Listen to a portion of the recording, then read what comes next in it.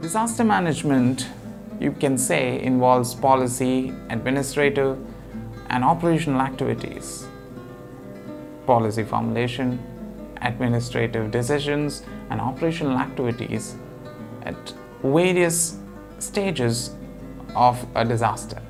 And all these are very important. And managing that is disaster management. It may include non structural and structural measures.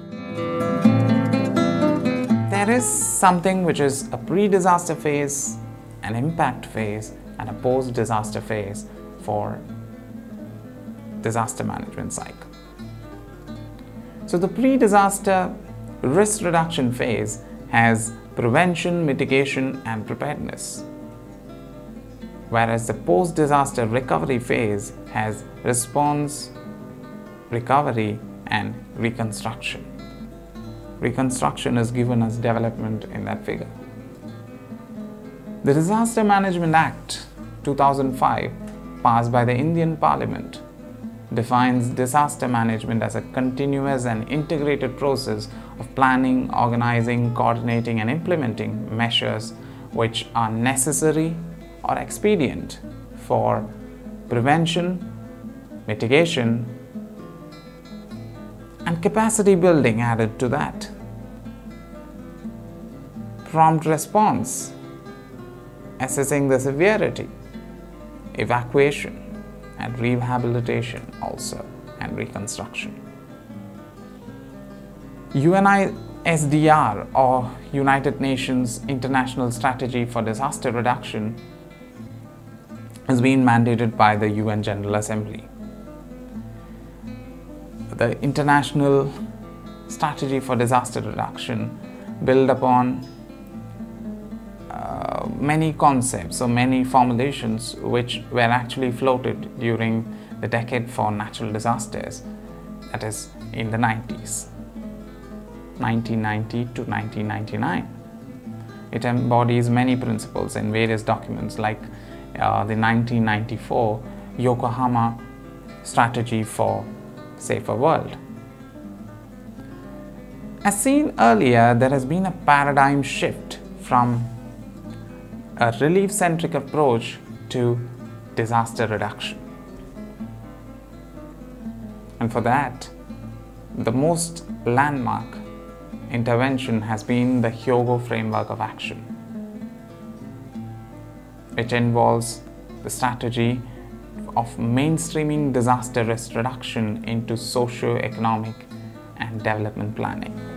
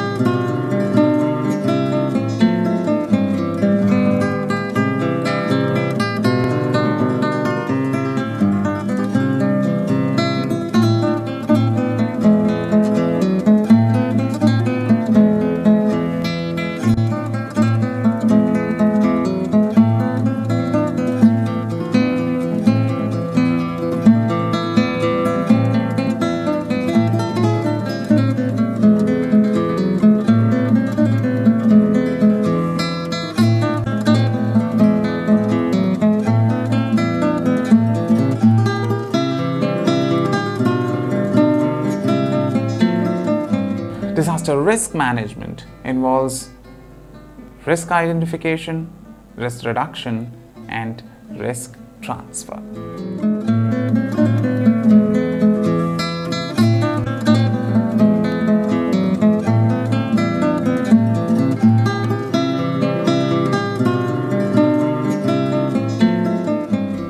It is always argued that the phase or the time just after a disaster is very appropriate for carrying out mitigation activities.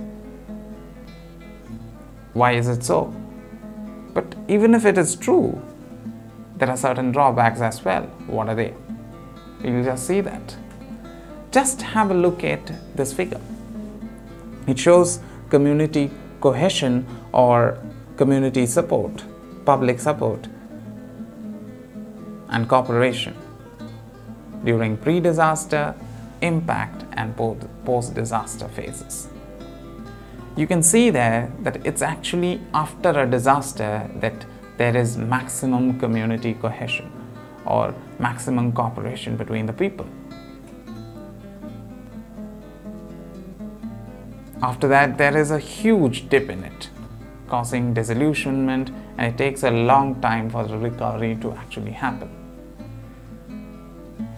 The reasons are very simple because public support is maximum during that period, community is actively involved in reconstruction, and international and national local aid and help are also available. However, the disadvantages are that that it might be fairly concentrated on the type of hazard which is already struck so many others might get neglected. Many other possible hazards of future disasters may get neglected. Also, the focus of the work may be concentrated on the area of impact, immediate impact. But there can be many other areas, maybe near or a little bit far away, which are susceptible to a future impact by the same type or a different hazard. While disaster management and response coordination requires centralized command, it is a need to decentralize disaster risk reduction. Disaster risk management at local level is a key element of any viable national disaster risk reduction strategy and must be built on community networks, effective municipal and local government institutions. And in that, education and training and professional competence and political will are necessary aspects of institutionalizing disaster risk reduction and mitigation.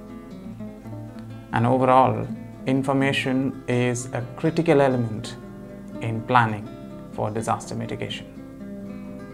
And for that, we have things like early warning systems.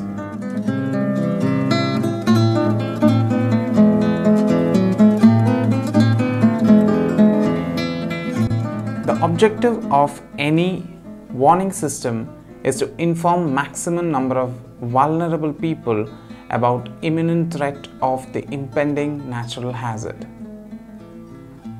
Uh, an early warning system comprises of actually four elements. One is detection, monitoring, dissemination, and response capacity. Normally, according to economies of scale, sustainability, and effective management, multi hazard early warning systems are better solutions because they'll be activated more often than any single hazard warning system. And when we talk about the warning information which has been given or communicated, to the vulnerable population, it has to be user friendly. And the people should have the capacity to interpret it properly. Capacity building at community level is thus very important. So, we must also make sure that members have adequately been trained for that. For dissemination of information, mobile phone technology at local level addressing specific mobile phone towers, which can be easily done or through TV channels locally through their digital set-top boxes and local cable operators and radio can give greater penetration within short time. Uh, and the cost might also be very little for this type of information dissemination. But what is essential for this operational network or framework is the command of authority, cooperation, authenticity, and trust because you must win the trust of the people so that they believe whatever warning is given is actually useful.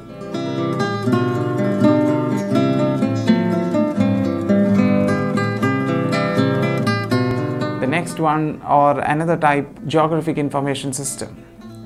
It's a computer based tool for mapping and analyzing things that happen on Earth uh, using techniques of database operations such as queries, statistical analysis, etc. Visualization, geographical information. All disasters are spatial in nature. So, spatial relationship with many other number of factors like the effect of what kind of disaster it's causing, all that are related. A disaster management cycle has been already been seen. Here, the GIS is useful in almost every stage. Have a look at this.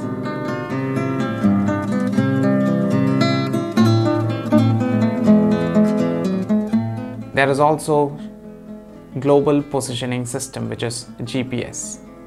It's a satellite based navigation system that can be used to locate position. Components are of course a space segment that is GPS satellite a control system operated by the authorities, then the user segment, which include both military and civilian use, and the GPS equipments.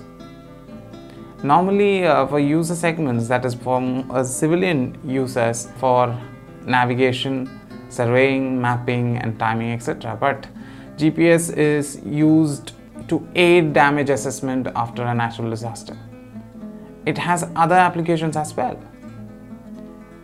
Coming to disasters and economic impact. Economic impact of a disaster can be categorized into three types direct cost, indirect cost, and secondary effect. Direct cost, or you can call it capital cost of assets, such as a building, physical infrastructure, raw material, which get destroyed or damaged in a disaster. Crop losses are often included in such things at times. Indirect cost is actually the damage to the flow of goods and services.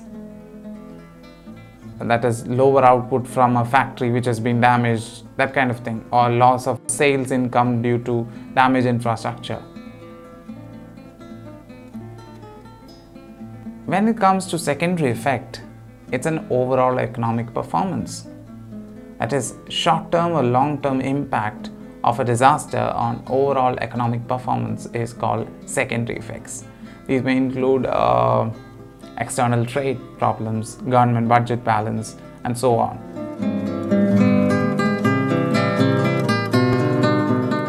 Is disaster prevention cost effective? Is a good question. Yes, because it not only saves cash or money, it also helps save a lot of lives. And human resources are the most important resource. And it also protects other natural resources, ensuring economic stability. Then protect livelihood. Investments are also protected, including foreign investments. The natural environment, culture of a community, and providing stability for national economy is also one of the most important things.